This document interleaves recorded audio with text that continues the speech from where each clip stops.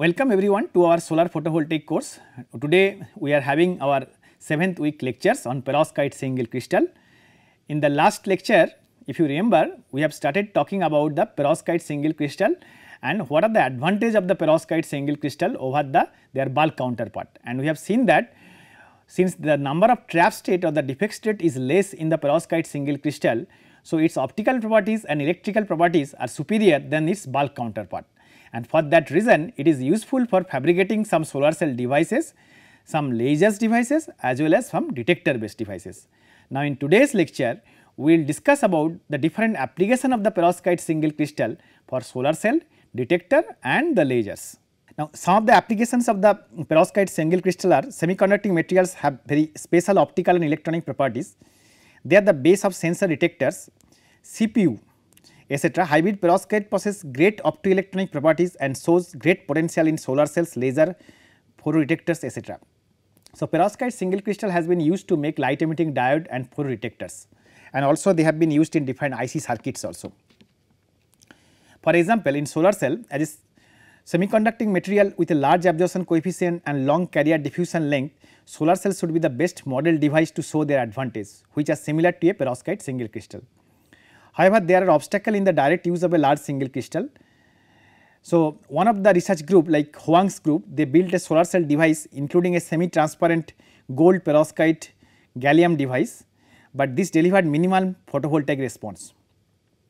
The main reasons for the low response are the photon generated carriers could not be fully collected in a thick device as well as the high intrinsic resistance of the perovskite material will bring ohmic loss via thick absorber layer.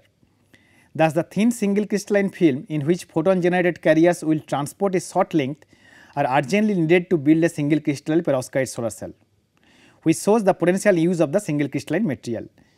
And the another research group, the Bakr group developed a CTSE strategy to prepare thin single crystalline perovskite film at the micrometer scale. The solar cell with 1 micron thick single crystalline film showed the best photovoltaic performance which we are showing in the next graph.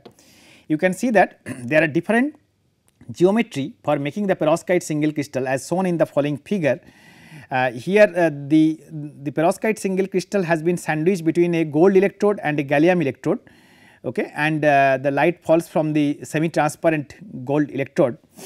And uh, the corresponding structure is showing here. You see that the glass and then there is a uh, perovskite MAPB BR3 which have been sandwiched between the gold and the gallium things and the corresponding uh, you can also put like if you do not have the gallium you can also use ITO or FTO. So, basically FTO TiO2 MAPBr3 single crystal 1 micron and the gold and that is the photovoltaic response and uh, MAPBr3 single crystal also people have done by sequential N doping and P, P doping and there they got a response like that. So, uh, these figures like you know figure number A that is a thick single crystalline perovskite solar cell with semi transparent gold electrode as the hole transport layer and gallium electrode as the electron transport layer. Now, the second curve B that is the JV curve of the solar cell which we have fabricated in the A now, figure number C is the device structure of a single crystal MAPBr3 film deposited solar cell and its photovoltaic performance. D is the effect of the single crystal MAPBr3 thickness on the photovoltaic performance of the single crystal solar cells. And finally, E is the schematic illustration of a lateral structure single crystalline perovskite solar cell and its photovoltaic performance. So, uh, as you can see and if you uh, look at the performance of the pure polycrystalline perovskite film with the perovskite single crystal, we can see that uh, still the performance of the film is not as expected as its optical and electrical properties demand it to be. And the reason behind it is that it is very difficult to grow the perovskite single crystal uniform film on a substrate or in a device geometry. But there are a lot of research groups which are working on it to make a very uniform and large perovskite single crystal which will be useful for the solar cell device. Increasing the absorber thickness from 4 to 10 micron will increase the serial resistance of the device and reduce the fill factor. When a 60 micrometer thick single crystalline film was used, the JSC, VOC and fill factor decreased dramatically because the charge carrier cannot be corrected efficiently. To overcome the drawbacks of this high intrinsic resistance, one of these research group, the Huang group designed and prepared a lateral structure single crystal perovskite solar cell. Instead of collecting carriers in the vertical direction, carriers need to be transported through a thick absorber layer the carrier was harvested in the lateral direction during which the charge transport length is reduced and the collection efficiency could be effectively enhanced giving a photovoltaic performance of 1.88 percent, but you can still say that it is much lower in comparison to the bulk counterpart. However, the gold electrode were used for both the cathode and anode. The PIN regions were created by electric poling which will introduce defects or crystal distortion increasing the carrier recombination. Now, in the both side if you use gold electrode then there is nothing to extract the charge carrier that is why they have done the electric poling. It is reasonable to expect that the PC of the lateral single crystalline perovskite solar cell could be further improved using more efficient hole and electron transport layer. Now, one of the important application which we will discuss before completing this lecture is the photodetectors. Now, beyond solar cell, the beneficial optical and charge transfer properties of the perovskites have enabled their successful deployment as photodetectors. Now, we have all used photodetectors in all kind of optical and electronic circuits whether it is a PMT or whether it is a CCD or whether it is a silicon photodiode, we have seen that these photodetectors have been used again and again in various optical and electronic devices. Now, this perovskite single crystal can also be useful for making the photodetectors not only in the optical range, but sometimes it can also be extended in the X-ray range also. Now, photodetectors have been widely employed in video imaging, optical communication, environmental monitoring and biomedical sensing by using semiconductors as light absorption and charge transport materials. Photodetectors have the potential to transport background electromagnetic waves into the electronic signal and provide useful and important data for automatic control, information transportation, medical diagnosis etc. Depending on how the generated carriers are utilized, current photodetectors can be classified as a photoconductive or photovoltaic. The performance of photodetectors such as their responsivity, response speed and detectivity are closely associated with the intrinsic properties of the semiconductors. Although rapid and tremendous advance have been achieved in polycrystalline perovskite film photodetectors in recent years, Single crystal perovskite thin films possess superior advantage such as the absence of grain boundaries, fewer defects and longer charge carrier lifetimes which are supposed to contribute to improvements in the detector performance. Okay. Now, whenever we talk about any detectors, so what are the properties of a detector we look about? We look for its responsivity, we look for its response speed, we look for its detectivity and also some of the intrinsic properties of the semiconductor. Now, there are different semiconducting material like silicon, gallium arsenide these have been used to make a photodetectors. But if you use perovskite single crystal as a photodetectors then all of these detection properties like responsivity, response speed and detectivity that changes significantly in comparison to the bulk counterpart. So, that is why perovskite single crystal has been widely used to fabricate a photodetector material. Photoconductive detectors in a photoconductive photodetectors symmetrical electrodes such as gold material gold. So, you see that the material has been sandwiched between the two gold electrode or silver material silver where the material has been sandwiched between the two silver electrode or ITO material ITO where the material has been sandwiched between the two ITO electrodes are deposited onto the working materials. While working the device current is monitored by applying a voltage bias on the symmetrical electrode which is an important parameter to evaluate the device performance. According to Ohm's law I is equal to V by R, a variation of resistance will result in current changes. Turning the light on and off will make the carrier concentration of the device vary dramatically which will result in a large difference in device resistance R and corresponding current I. This process will generate a pulse like pattern in the IT curve as shown in the next figure. This will make the electromagnetic wave signal detection possible. A bias voltage is always needed for this type of detector. For single crystal perovskites, the intrinsic carrier concentration is very low somewhere around 109 centimeter inverse cube. This is a major reason for the observed large resistivity, small conductivity approximately 1 into the power minus 8 ohm inverse centimeter inverse. So, here we are showing the photoconductive mode single crystal perovskite as you can see that uh, the photodetectors we are this region is the light on and then there is a light off. So, there is a sequential things of this thing this is a photocurrent versus time. Similarly, the current versus time has been shown here and then uh, the same photodetectors as I said that has been used for also the X-ray detection where the y axis is the X-ray current and x axis is the time. After being excited by photons the carrier concentration will increase dramatically which will alter the resistivity of the single crystalline perovskite. This results in a large difference in device current which could allow single crystal to be used in photoconductive detectors. Equation shows that responsivity of a photodetector is closely related to the carrier concentration variations between the light and dark condition. This results in a large difference in device current which could allow single crystal to be used in photoconductive detectors. For example, the responsivity we can write it as I pH where the I photocurrent minus I dark current into the power input into the S the area that is proportional to the N the number of the photocurrent charge carrier minus number of the dark current into the input power into the area. Here R is the responsivity, IPH and IDR is the current of the device under light illumination and dark, P input is the power of the incident photons and S is the effective area of the device. So, responsivity of a detector that depends upon the photocurrent, it depends upon the dark current, it depends upon the input power and it depends upon the area of the detector also. So, the responsivity is inversely proportional to the input power and it is inversely proportional to the area that we expect. If we increase the area, responsivity will decrease. If you have a small area, then the responsivity will increase. And NPH and NDR are the current concentration in light and dark respectively. Under the same photocarrier generation rate with a lower intrinsic carrier concentration, larger responsivity values are seen for the photodetector. From this point of view, the single crystalline perovskites are great candidates for photodetector applications due to their extremely low intrinsic carrier concentration.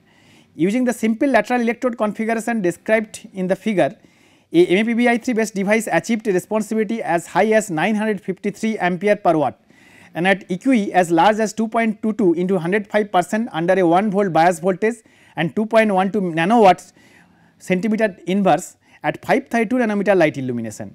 The single crystal photodetector showed 100 times higher responsivity and EQ than its polycrystalline counterparts under 1 milliwatt centimeter inverse light illumination. In addition to the high responsivity and EQ, the simple structure photodetector also shows a very fast response time, rise time and decay time with values as small as 74 and 58 microsecond respectively. So, all the other properties is also useful of the perovskite single crystal as far as the detection is concerned. Now, as I said that this poly, this perovskite single crystal can also work in a photovoltaic mode. Now, what is a photovoltaic detectors? Photoconductive detectors can work without a bias voltage or a photovoltaic detector is simply a solar cell device in which the asymmetrical electrode causing a built-in electric field assists the collection of a photon generated carrier. The asymmetrical electrode could form PIN type, PN type or Schottky type junctions to assist with carrier collection. Theoretically, no bias voltage is needed for this type of device.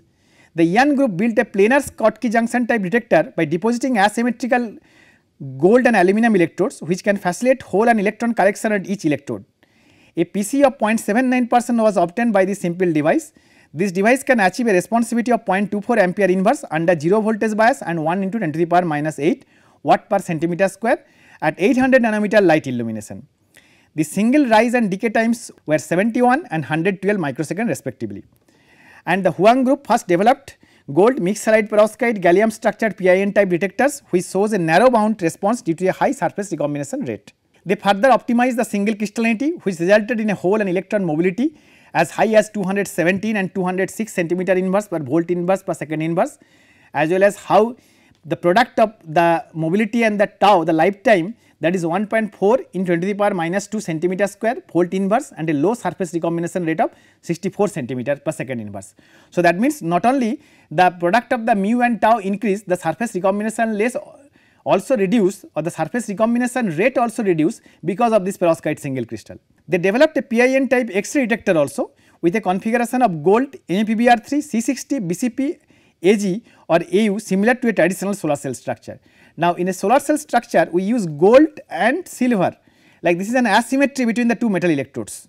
So, in whenever we are talking about the photovoltaic mode we are working in an asymmetric device. So, you see that we put gold and silver on the other end right and in between we put the MAPBR3 and then C60 and BCP. C60 is a small molecule, BCP is another small molecule. But when you work in a photoconductive mode we work in a symmetrical device pattern. The current generated from the X-ray increased linearly with the X-ray dose rate, a sensitivity of 80 microcoulomb GY inverse AR centimeter minus 2 was derived which is more than 10 times higher than that of a cadmium or zinc telluride single crystal X-ray detector and 4 times higher than that of the currently used alpha selenium X-ray detector. Now, in terms of the lasers like perovskite this single crystal has also have been used for fabricating lasers. Hybrid perovskites are high gain materials for lasing because of their high absorption coefficient, high photoluminescence quantum yield, slow Auger recombination rate, long carrier diffusion length and low defect density. Now, all of these properties we have explained earlier like high absorption coefficient right. So, the perovskite single crystal has a very high absorption coefficient and the photoluminescent quantum yield that is the number of photons it can emit per absorbed incident light. So, that is also very high. Since the defect states is lower the recombination rate is also very lower and the carrier diffusion length is longer and also the defect density of state is lower. So, because of that this perovskite single crystal is also useful for fabricating lasers because for a laser we are mainly looking for two properties one is this photoluminescence quantum yield and another is the defect density. Sandwiched between spiro-OMeTAD and titanium dioxide a polycrystalline MAPBI3 film still shows a strong amplified spontaneous emission demonstrating its high optical gain. Now, uh, if we have done some basic optics we know that usually uh, the number of the charge carriers in the excited state in an equilibrium is less than the number of charge carrier in the ground state that is a normal condition. But for the lasing to happen the number of the electrons or number of the charge carrier or number of the atoms whatever you say in an excited state should be higher than the number of the ground state a situation called the population inversion. Now, if a population inversion is there in the system then there will be a spontaneous emissions. Now, this amplified spontaneous emissions that is possible in a MAPBI3 perovskite single crystal when fabricated along with a small molecule like spiro-OMeTAD and titanium dioxide. In addition to high gain material, a cavity is also needed to achieve population inversion. Using a gold film and a dielectric film stack, the Snaith group produced a polycrystalline perovskite film laser with a threshold of 200 nanojoule per centimeter square. While this result is promising, the full width at half maximum of the laser emission is small and produced a larger Q factor. This may be a result of the trap state generated by the grain boundaries which will broaden the photoluminescence. To overcome the drawbacks of grain boundaries, high quality perovskite nanoplatelets have been prepared using two step CVD method and used as a grain material. Now in contrast to the Snaith's report in which the gold film and the dielectric film stack served as a cavity and the boundary of the nanoplate forms a whispering gallery mode cavity that can utilize successful total internal reflection and provide a high Q factor. Using a MAPBI3 nanoplate they can achieve 780 nanometer laser emission with a threshold of 37 microjoule centimeter minus 2 and Q factor of 60, 650. So, you see that here the perovskite single crystal is working in a whispering gallery mode. Okay and here the lasing has been shown and the lasing threshold is happen like in a very small power intent level. Now the stability of the perovskite single crystal is also higher than the bulk counterpart. In recent years the performance of halide perovskite devices especially perovskite solar cells has significantly improved at an unprecedented rate which is comparable to that of traditional crystalline silicon solar cells. However, air thermal and photo instability issues have limited their further long term commercial implementation, one of the major problem with the perovskite device. Now, uh, for example, the moisture stability. Moisture is regarded as one of the major reasons for the degradation of perovskite structures and thus the performance of unsealed perovskite devices. For instance, a hydrated product for example, Ma4 PBI6 2H2O is formed when water molecule is interact to with PBI3 resulting in structural decomposition and decrease in absorption across the visible spectrum. So, if I make a MAPBI3 perovskite film and if we just leave it in the normal environment condition, what will happen? Perovskite film will absorb the moisture from the water and they will make a compound this one MA4 PBI62H2 and it will further degrade and basically the crystal structure of the perovskite is lost and its absorptions as well as the charge transport properties will be suffered. In addition to the intrinsic ionic crystal structure, the defects that are present in the material is another cheap problem for the degradation of halide perovskites. Accordingly, by virtue of the absence of grain boundaries and low defect states, single crystal perovskites exhibit superior thermal and moisture stability. A recent study on moisture dependent polycrystalline perovskite stability clearly revealed that the degradation of perovskite was initiated at surface defects and grain boundaries and that single crystal perovskites can be stable in air for several years as a result of so sur low surface defect densities and no grain boundaries. See in perovskite single crystal there is a less number of grain boundaries and there are less number of defect state. So, here the thermal stability is also very high in comparison to the polycrystalline film. The power conversion efficiency or the PC of a single crystal MAPBI3 based solar cell without encapsulation showed almost no degradation after being stored in air at 23 degrees Celsius and humidity level of 30 percent in the dark for 30 days which was superior to the degradation of the polycrystalline thin film solar cells. So, an experiment was performed and a polycrystalline perovskite solar cell as well as a single crystal perovskite solar cell was kept in the air and it has been found that the single crystal device is more thermally stable than its polycrystalline counterpart. Similarly, the single crystal MAPB BR3 solar cell held 93 percent power conversion efficiency or PC of the initial value after being aged in dry air for 1000 hour. The single crystal CSPB BR3 thin films prepared by vapor phase epitaxial growth showcased excellent air and moisture stability after exposure to ambient air with 20 percent relative humidity RH at room temperature for 3 months. What about the thermal stability? Apart from the moisture stability mentioned above, the operating temperature also has a profound influence on the performance of the perovskite device. So, we have seen that perovskite shows a temperature dependent crystal change, crystal structure change. Now, if the temperature of the environment changes, so then the perovskite crystal structure also changes that means the transport properties also changes.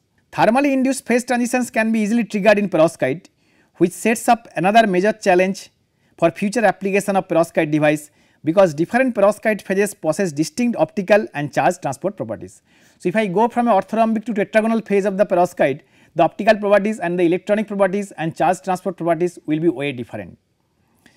Decomposition at the grain boundary or surface can occur at relatively low temperatures and are accelerated at elevated temperatures due to corrosive con contaminants which are stored in voids and grain boundaries. Compared with the decomposition temperature of a polycrystalline MAPBI3 thin film at 150 degree Celsius, a single crystal wafer is capable of withstanding high temperatures first underwent 20 percent mass loss of HI at 240 degree Celsius followed by 6 percent loss of CH3 and H2 component at 30, 330 degrees centigrade. Moreover, no thermal decomposition signal was observed in crystalline FAPBI3 wafer until reaching 300 degrees Celsius. So, instead of MAPBI3 if you make FAPBI3, so then the degradation temperature increase further. So, stability increase further. Single crystal MAPBR3 and MAPBCL3 also exhibited good thermal stability and their decomposition temperature onsets were reported to be 257 and 214 degrees Celsius respectively. Compared to the organic inorganic hybrid perovskite, all inorganic perovskites possess superior thermal stability due to the absence of the volatile organic components. For example, CSPB BR3 is capable of bearing an ultra high temperature of up to 567 degrees Celsius until melting. Therefore, all inorganic single crystal perovskite thin films were more desirable than the their organic counterpart because the optical and electrical properties is most stable here. For example, like you know if I make an all inorganic perovskite single crystal CSPB BR3, so it can goes until 567 degree before it melts. So, this data is obtained from the TGA data thermal gravitometric analysis. Now, since it can withstand a very high temperature, so that is why this kind of perovskite single crystal is more suitable if you are considering a huge temperature variation. The third important factor is the light stability. Now, we have mentioned when we have talked about the perovskite solar cell that the ionic part in the perovskite crystal they start diffusing when the light exposed on it, a property commonly known as the ion migration. Now, that was the intrinsic instability in the perovskite devices. Now, when we make a perovskite single crystal, this ion migration property is also reduced. For example, like you know here the temperature dependent conductivity measurement of MAPBI3 and the quasi 2D BA2 MAPBI3 and perovskite single crystal is shown here. Now, in the case of the perovskite single crystal, the light stability is higher in comparison to their polycrystalline counterpart. And finally, the encapsulation technology has been verified to be an effective strategy to resolve degradation issues caused by humid air. White light instability has been more challenging to address. Possible mechanism of the photo-induced degradation process have been related to photo-induced ion migration and photocatalytic effects caused by damaged contacts between the hole transport layer and metal electrode interface. It has been found that ion migration was success significantly improved under sunlight illumination, especially in the case of polycrystalline film. A similar phenomena was also been observed in single crystal MAPBI3 in which the activation energy of ion migration was reduced to 0.33 electron volt under the illumination from the original 0.83 electron volt in dark condition. So, also uh, in a single crystal MAPBI3 film, so what happens the ion migration is observed However, a constant slope with an activation energy of 253 milli electron volt was observed in a quasi 2D Ba2 Ma2 PbI3 I10 single crystal perovskite thin film indicating that ion migration is suppressed along the in plane direction. Therefore, the efficiency and stability of perovskite electronic device may be noticeably improved in the absence of ion migration and reduction of the vacancy defects. So, what are the current challenges and outlooks on future developments? Grown methods or growth methods of the single crystal perovskite thin film play an paramount role in determining their optoelectronic properties and final device performance. Now, the perovskite single crystal can grow in several different methods. We have discussed some of this method. Now, this growth method can influence their morphology, can influence their photophysical properties. That is why the optoelectronic properties especially their device properties can heavily depend on the growth method. In all of these strategies for fabricating halide single crystal perovskite thin film, space confinement is omnipresent in the common solution phase crystal growth method for growing high quality single crystal perovskite thin films. However, the environmental issues caused by the heavy use of organic solvents should be paid more attention. The top down method of slicing bulk crystal to freestanding crystal films will inevitably induce surface defect. Therefore, the further exploration of more efficient growth methods for large area and high quality single perovskite thin films is called for. To date most single crystal perovskite thin film materials have mainly been focused on organic inorganic hybrid perovskite as for example MAPB BR3 and MAPB I3. Given the instability of the volatile organic component and toxicity of the lead element, candidates for all inorganic and lead free low toxicity compositions are still called for in effective fabrication methods. So, crystal quality of the single crystal perovskite thin film is significantly critical to device performance. It is noted that despite very low trap density in the bulk phase, organic inorganic hybrid single crystal perovskites grown in solution still possess a large number of surface charge trap which are probably generated from the loss of the organic amine ions. So, although the, the volume defect density is less, the surface trap density or the surface charge density still exists due to the loss of the amine group. The resultant substantial surface recombination nullifies the intrinsic superiority of the single crystal leading to unsatisfactory performance. Therefore, besides careful optimization of the bulk crystal quality improvements, the development of rational surface passivation techniques is urgently needed. The optoelectronic performance of single crystal perovskite thin film device is greatly affected by interface engineering, including the interface at the perovskite charge selective layer, perovskite substrate and perovskite metal electrode. Since lattice mismatch between halide perovskite and common substrate, for example, FTO glass would induce lattice strain and thus cause interfacial recombination and poor electrical contact, connection between single crystal perovskite and the substrate deserves to be investigated at the atomic level. To reduce the interfacial lattice strain, the growth substrate needs either careful selection or the construction of a buffer layer. In addition, functional molecular modification of the substrate is an available strategy. Single crystal perovskite thin films have shown significant superiority in terms of their crystal quality and optical and electrical properties that we have already discussed compared to those of their polycrystalline counterparts. The photovoltaic performance is reasonably expected to outcome the record set by polycrystalline perovskite film. In the recent 2-3 years, single crystal perovskite solar cell efficiency has rapidly increased to 17.8 percent. To achieve higher efficiency, more effort is suggested including perovskite composition adjustment, crystal thickness optimization and reducing the amount of surface defects. So, these are the three challenge. One is the perovskite composition adjustment, another is the surface passivation and another is the crystal thickness. Hence, it is an optimistic expectation that the PC of a single crystal perovskite solar cell would increase to 25 percent to 30 percent soon.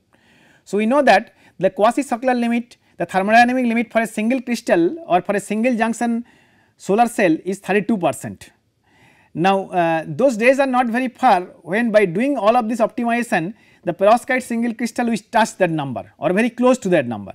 Direct growth of single crystal perovskite thin film onto functional target substrate as for example transparent conductive substrate pattern electrodes is regarded as an efficient route for developing highly integrated system while greatly reduce device fabrication complexity. To facilitate such direct growth methods and improve the contacts to minimize ohmic loss, high lattice matching and or continuous interface at the molecular level between the perovskite and charge carrier collectors should be considered in advance. So, what we have learned that there are a lot of advantages of using perovskite single crystal like for application in solar cell, application in detectors, application in lasers, but there are also still some challenges, challenges like compositional mapping, challenges like surface defects and all of these things. So, once a optimized method for the crystal growth, a large uniform crystal growth has developed, then it is possible to still improve the efficiency parameters or the efficiency of a solar cell made from the single crystal perovskite films. Thank you.